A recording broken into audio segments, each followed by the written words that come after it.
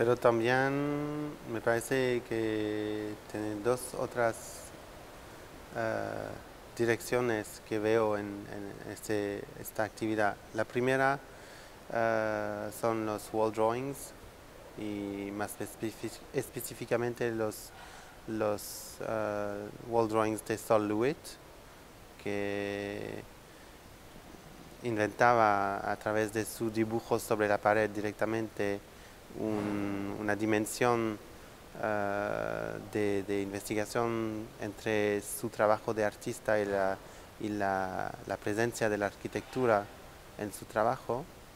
Y la otra que me viene también es la idea de la ilusión del cine, ¿no? Entonces no sé si puedes hablar de las dos cosas Sí, y de- cómo relacionas con eso. De Solevit, en efecto, el- el-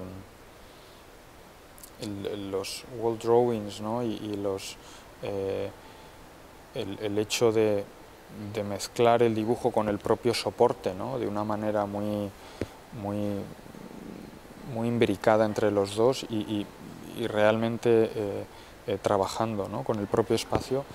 Me interesa, me interesa esa parte que en, en- mi trabajo es muy clara, es decir, yo trabajo con, con lo que está ahí, cada vez más además, empecé haciendo esculturas y proyectando sobre esas esculturas, pero digamos que he ido sintetizando y apartando un poco mm, eh, cosas intermedias y ahora, por ejemplo, me interesa mucho más el, el trabajar con lo que está ahí, con la arquitectura que está ahí.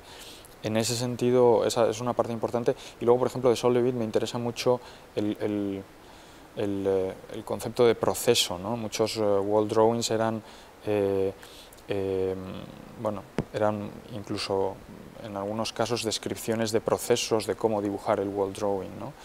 En, mi caso, digamos, el, acercamiento es un poco distinto, sí que tiene el hecho de que es un wall drawing en, movimi- en movimiento, añade una capa temporal y de proceso que, que- está ahí, que está muy presente y, que, bueno, digamos que yo siempre trabajo site specific y eso hace que, que el propio espacio donde estoy trabajando me, me sugiera muchas cosas a nivel de qué es lo que voy a tratar ¿no? en esa pieza. ¿no? Entonces, por ejemplo, los tipos de espacios con los que estoy trabajando aquí, desde las columnas cilíndricas a la, a la puerta con muchos detalles, digamos que he adaptado el proceso de generación de la pieza, es decir, lo que ocurre allí, a, eh, a lo que la arquitectura un poco te va, te va diciendo. ¿no? Entonces, bueno, sí, digamos que hay esas dos partes de, de adaptación a la arquitectura y, y sin duda también de integrar el proceso dentro de la propia, de la propia pieza. Y, y en segundo lugar comentabas... eh, Es el- que eh, la- en la tercera pieza que hizo, ah, que hice, hablé tú de la, la puerta que desaparece en el- la pared, ¿no? Y que quieres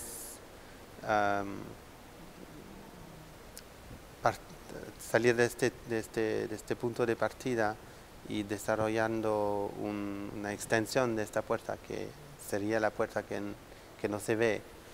Y me parece que podemos discutir de eso también en relación de la arquitectura, pero, pero al mismo tiempo ah, sobre este tema del, del cine, de, de la idea de, de proyección y de cómo el espacio proyectado ah, reemplaza más o menos el tema del- del- de la arquitectura. Es que la sala de proyección no es un, un sitio que se recuerda, pero te recuerda la película que fui a ver, por ejemplo. Entonces, tiene esta relación rara entre l- la, la imagen pro- proyectada y este lugar imagina- imaginado y como el lugar real desaparece. Entonces, pensaba, pensé que es también una cosa que hace parte de tu Ahí, ahí trabajo, hay, ¿no? hay algo muy, muy, hay algo importante y, y- y sí que es cierto que, es decir, yo he cogido los elementos del cine y, y los reorganizo, digamos, ¿no? Entonces ya no es eh, tanto, el, el hecho de, de, eh, digamos, es transformar la pantalla bidimensional en una pantalla tridimensional.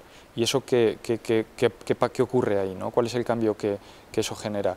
El- el- en el cine, pues bueno, digamos que hay, hay una ventana que te traslada a, a un, aún por, por, por tú te imbuyes, ¿no? te, te, te, te buceas, ¿no? buceas dentro de, esa ventana y eh, tienes la sensación de estar eh, dentro de ese espacio, no una sensación física, pero sí mental, ¿no? de, la cámara ¿no?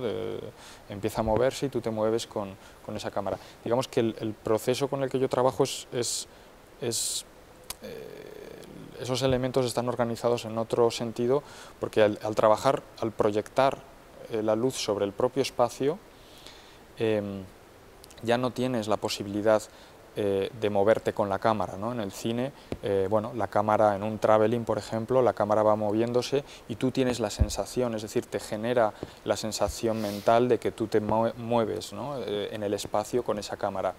E-, ese tipo de movimiento en mi trabajo no ocurre, pero no ocurre a través de la cámara, ocurre con el propio movimiento físico del cuerpo, es decir, tú te puedes seguir, es casi coger el marco de la ventana del cine y eh, destruirlo, ¿no? sacarlo. Eh, es decir, hacer más directa la, la, relación entre el movimiento del cuerpo y el propio cine. ¿no? Ya no es una ventana, sino que hay una relación eh, física, ¿no? hay una relación física con el objeto, pero a la vez, al estar utilizando como pantalla el propio objeto, eh, se mantiene esa relación física, pero añades otra capa de tiempo, ¿no? de movimiento, de transformación, que puede llevar a, transformaciones mm, bastante drásticas del objeto. ¿no? El color, puedes cambiar el color del objeto, la textura.